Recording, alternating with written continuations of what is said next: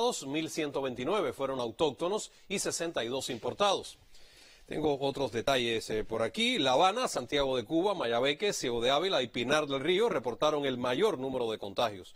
Más de 130 pacientes son atendidos en terapia intensiva y las cifras de los diagnósticos diarios en edades pediátricas aumentan. El doctor Francisco Durán comentó que no se logra el control de la epidemia porque hay mucha indisciplina en el cumplimiento de las medidas.